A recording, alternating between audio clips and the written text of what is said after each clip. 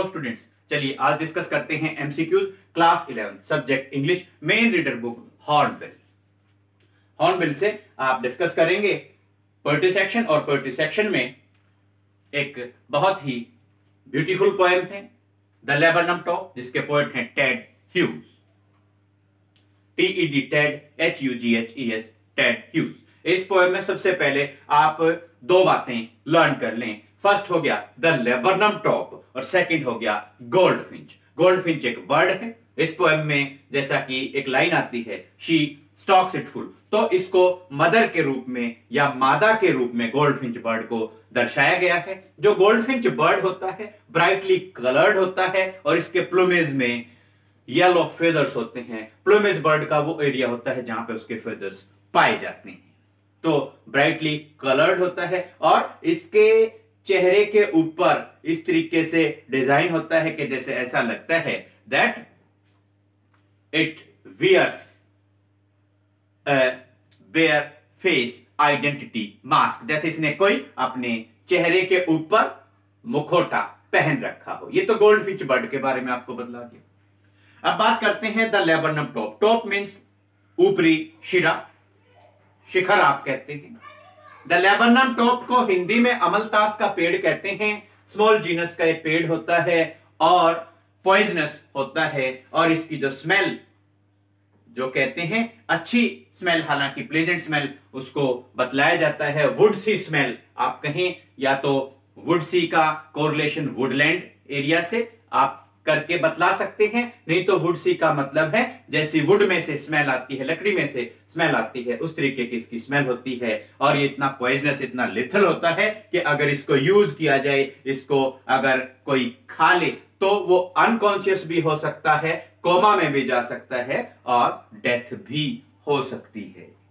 ये इस तरीके का आपका लेबर नाम ट्री होता है। कुछ वर्ड मीनिंग्स हैं, थोड़ा स्टार्टिंग में हम वर्ड मीनिंग्स को डिस्कस कर लेते हैं। Twitching twitching means give sudden jerking थोड़ा अचानक से जर्क करना, झटका मारना। Twitching means give sudden jerking chirp C H I double R U P या C H I R P means short high sound चहकना। Short high sound चहकना। अब chitterings chitterings means B चहकना होता है chitterings means chattering sound C H A double T E R I N G chattering sound tremor slightly shaking थोड़ा हिलना tremor T R E M R tremor slight shaking थोड़ा हिलना tremor of wings पंखों का, फड़फड़ाना पंखों का, धीरे से हिलना. Subsides to empty means complete silence S U B S I D S subsides to empty means complete silence पूर्णतः शांति पूर्णतः चुप्पी launches away means to start something away आप कह सकते हैं लॉन्चेज अवे जैसे यहाँ उड़ान भरना लॉन्चेज अवे जैसे हम कहते हैं कि ये प्रोडक्ट लॉन्च किया गया है मतलब उस प्रोडक्ट को आ, की शुरुआत की गई है। बट यहाँ पर लॉन्चेज अवे का मतलब इस पोएम के अंदर है लॉन्चेज अवे यानी कि अपनी वो उड़ान दूर जाने के लिए अपनी उड़ान की वो शुरुआत करती है, उड़ान भरती है goldfinch bird trillings means warbling sound warbling sound का मतलब होता है कि bird singing with changing notes when a bird is singing with changing notes अपने जो नोट्स हैं, उनको चेंज करते हुए कोई बर्ड सिंग कर रहा है, गा रहा है startlement means moment of startlement या टू स्टार्टल सनसनी। उसके बाद में हम बात करते हैं स्टॉक एस टी ओ के स्टॉक स्टॉक मीन्स भरना या सप्लाई विद फ्यूल जैसे ईंधन उपलब्ध कराना। उसके बाद में eerie eerie means strange and frightening अद्भुत और frightening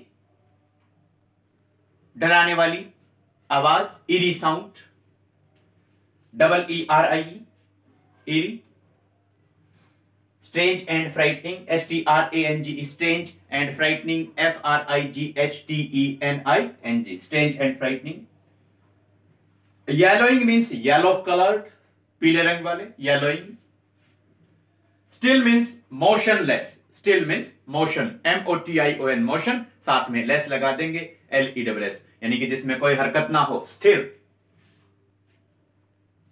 Whistle chirp. Whistle chirp means soft and gentle chirp. यानी कि जो गोल्डफिंच बर्ड है, उसकी जो चिर्प है, उसका जो चहचहाना है, वो सॉफ्ट है, वो जेंटल है.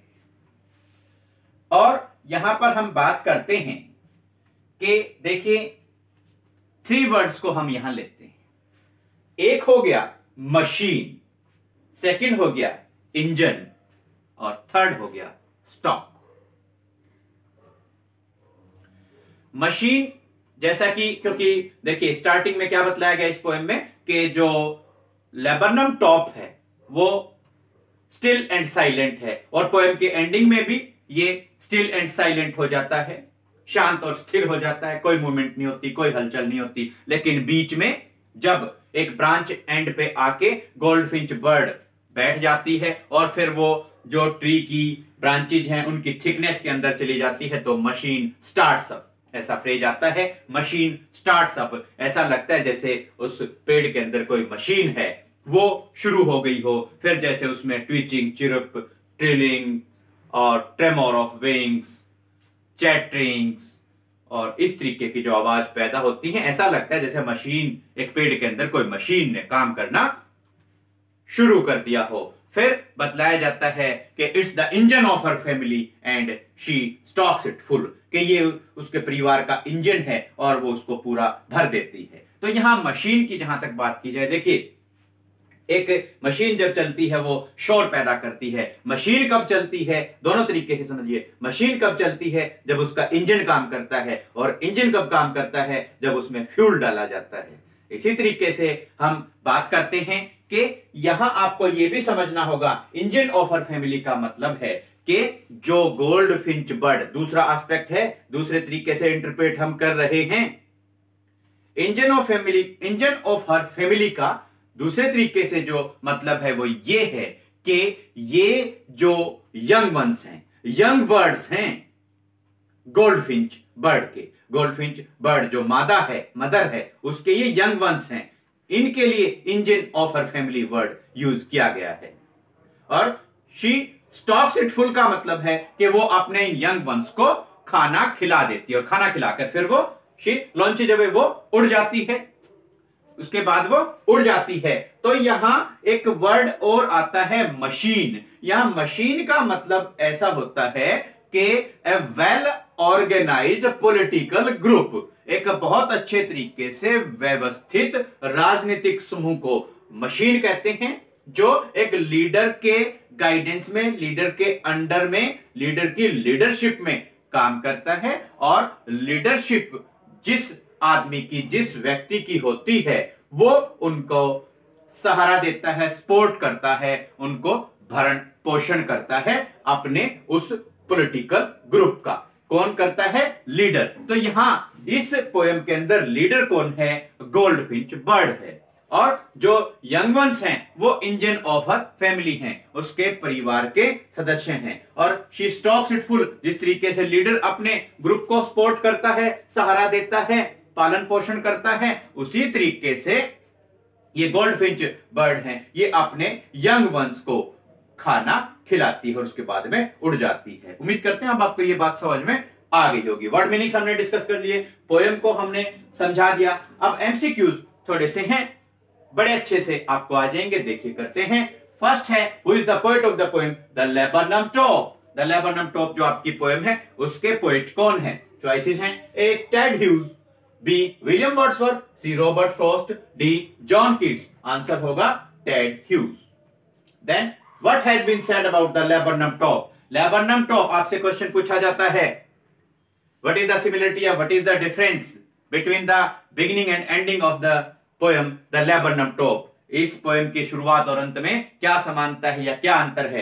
कुछ अंतर नहीं है। There is no difference in the beginning the laburnum top was still and silent and in the same way the laburnum top was still and silent in the ending शुरू में भी और अंत में भी still and silent था choices हैं still and silent be free see both A and B D none answer है still and silent what has been said about the laburnum top still and silent what time of the day it is ये दिन का कौन सा समय है A Monday B morning C afternoon of September D none poem को जब हम रीड करते हैं टेक्स्ट को रीड करते हैं, पढ़ते हैं तो हमें पता चलता है कि वहाँ लिखा हुआ था, लिखा हुआ है कि few leaves yellow few leaves yellowing कुछ पत्ते जो पेड़ के हैं, वो येलो हो रहे हैं. फ्यू लीव्स येलोइंग तो पेड़ के जो पत्ते येलो होते हैं, वो कब होते हैं? पतझड़ के मौसम में ऑटम के मौसम में. और मंथ्स में बात की जाए तो ऑटम कब आया? सितंबर में। और ब्राइट सनलाइट दिखाई गई है इट मींस आफ्टरनून का टाइम है। तो हमारा, देखिए चॉइस होगा आफ्टरनून ऑफ़ सितंबर ये हमारा करेक्ट आंसर होगा। What time of the day it is afternoon of September learn कर लेंगे। Then what shows that it is the autumn season किस बात से आपको पता चला कि ये ओटम सीज़न है? पतझड़ का मौसम है। A green leaves B yellow leaves C red leaves D all of the above आपका आंसर होगा येलो लीव्स पीले पत्तों से पता चला that it's an autumn season what sound does the goldfinch make goldfinch bird कैसी आवाज़ पैदा करती है? A twitching chirp B band C both and B D none सीधी सी बात है ट्विचिंग चिरप ये जो वर्ड्स हैं, इस पोएम में लर्न कर लें. Twitching chirp tremor of wings trillings chatterings chitterings chirp where does the goldfinch land goldfinch जो बर्ड है, वो कहाँ आकर लैंड करती है, कहाँ आकर उतरती है? A green leaves B yellow leaf C end of a branch D none आपको बतलाया था एंड ऑफ़ ए ब्रांच एक शाखा के अंत पर आकर गोल्ड फिंच बर्ड उतरती है। What makes the tree tremble and thrill पेड़ किस वजह से कांपने लग जाता है और रोमांचित हो जाता है? चॉइसेस हैं A the sadness B the joyful moments of the goldfinch young ones goldfinch bird के जो बच्चे हैं, यंग वंस हैं, उनके आनंददायक जो पल हैं, उनकी वजह से। The joyful moments of the goldfinch young ones C both and B D none आपका आंसर है the joyful moments of the goldfinch young ones the joyful moments of the goldfinch young ones ये आपका correct answer होगा। Then what has the goldfinch been compare to goldfinch bird की comparison तुलना sleek and abrupt किससे की गई है? Airline B lizard C sparrow D all of the वो आंसर होगा lizard where does goldfinch enter goldfinch जो बर्ड है वो कहाँ जाकर घुस जाती है? A thickness of the branches B yellow wood C near the land D all of the वो आंसर होगा thickness of the branches what does the goldfinch do before flirting out उड़ने से पहले बिफोर लॉन्चेज अवे वो क्या करती है? A to fly away B to feed her young ones C to sleep D none क्या करती है? To feed her young ones अपने बच्चों को आप खाना खिलाने के लिए गोल्ड फिंच जो मादा है, मदर है, वो लेबरनम टॉप के अंदर ब्रांचेज के अंदर थिकनेस के अंदर घुस गई थी। उनको खाना खिलाया था। To feed her young ones then what sounds does she make when she flies away जब वो उड़ती है लॉन्चेज अवे की जो मोमेंट है, पल है, उस टाइम पे वो कौन सा शोर पैदा करती है? A happy sound B delicate sad sound C still D all of the वो डेलिकेट सैड साउंड अपने बच्चों से बिछड़ने की वजह से डेलिकेट सैड साउंड वो पैदा करती है। How does the labour laburnum look after she has flown away जब गोल्ड फिंच बर्ड उड़ जाती है लेबरनम टॉप अब फिर से कैसा दिखाई देता है? वही स्टार्टिंग वाला जो क्वेश्चन था, वही यहाँ पर आंसर होगा। A happy B silent C still D both B and C आपका आंसर होगा both B and C still and silent देखिए, यहाँ पर भी आपसे स्टार्टिंग में पूछा गया था क्वेश्चन नंबर टू में। What has been said about the laburnum top starting की बात थी। स्टिल एंड साइलेंट और एंडिंग की बात है। Still and silent both B and C B choice में साइलेंट था सी में स्टिल था. साइलेंट एंड स्टिल या स्टिल एंड साइलेंट ये आपका आंसर हो जाएगा both B and C what is the meaning of the word machine machine जो वर्ड है, उसका क्या मतलब है? क्या अर्थ है? A group of goldfinch young ones जो गोल्ड फिंच बर्ड है, उसके यंग वंस का ग्रुप यंग वंस का बच्चों का. समूह B tree C leaves D none answer होगा machine means group of goldfinch young ones students बहुत ही इजी एमसीक्यूज हैं. बहुत ही इजी आपको चॉइसेस दी गई हैं. और उम्मीद करते हैं कि ये पोयम और इसकी एक्सप्लेनेशन पोयम की जिस तरीके से हमने थोड़ा ब्रीफ में एक्सप्लेनेशन भी दी है, आपको समझाया भी है और एमसीक्यूज आपको समझ में आ गए होंगे आपकी नेक्स्ट पॉइंट के एमसीक्यूज के साथ जल्द करेंगे मुलाकात। थैंक्स अब नाइस डे